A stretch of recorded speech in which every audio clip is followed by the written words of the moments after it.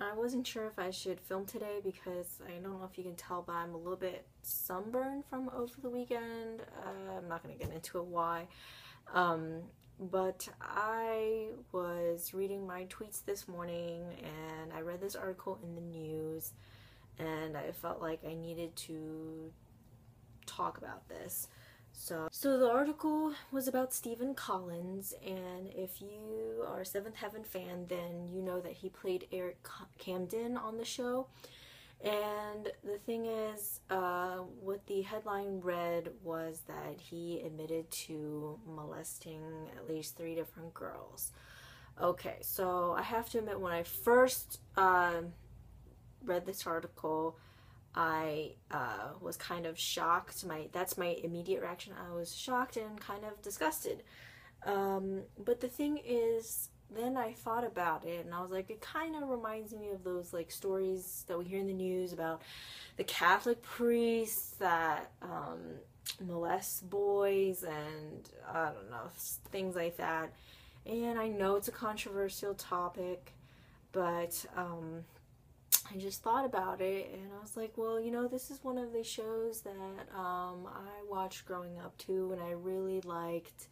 And it definitely, just like the article, you know, said at the beginning, um, portrays this as a very family friendly, kind of wholesome show that, you know, kids and young adults can um, rely on to always show you to do the right thing because, of course, it's, you know, very Christian centered.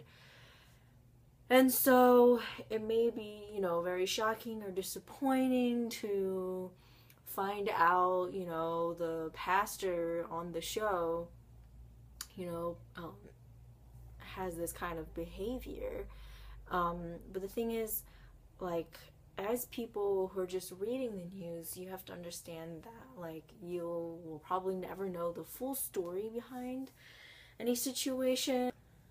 And I just wanted to say that um, in the article, it did point out that he admitted this information to his estranged wife back in 2012 in a therapy session, and then he didn't know that she actually filmed it, and now the police are kind of investigating. Um, and I feel like, while I don't know him personally, obviously, um, it must have been a really hard thing for him to do to admit something like that. And it also made me think of Kelly Clarkson's song Dark Side. You know how she sings about how everybody has a dark side and uh, talks about like if you're willing to love her anyway. Which I feel like what is most beneficial to him now at this time, well, it's already out there, it's out there in the public. Um, so people are going to be critical, people are going to be judgmental and have their thoughts about it.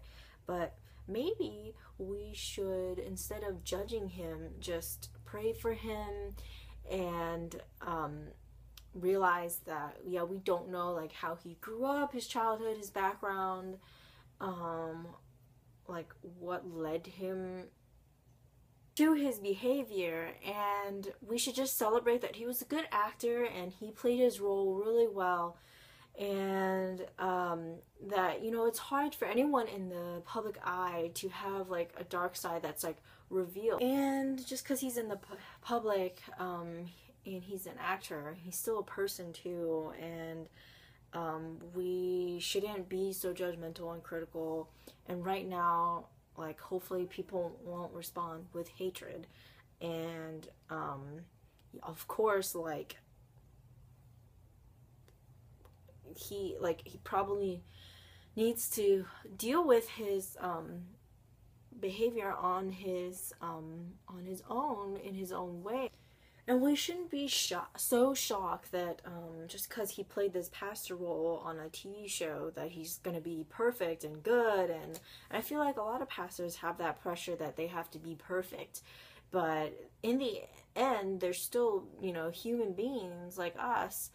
And, um, and it doesn't mean that they're not going to mess up and they're not going to have flaws. So, um, we should just allow him to work on himself. Maybe he needs some more therapy. And, you know, I don't know what he needs, but, you know, and I'm not saying what he did was right, but it's just like a time for him to work on himself, to um, change for the better, and um, but I don't really see a rate a reason to hate on him or be too shocked um, that he did what he did. Um, so yeah, so that's all I have for you guys for today.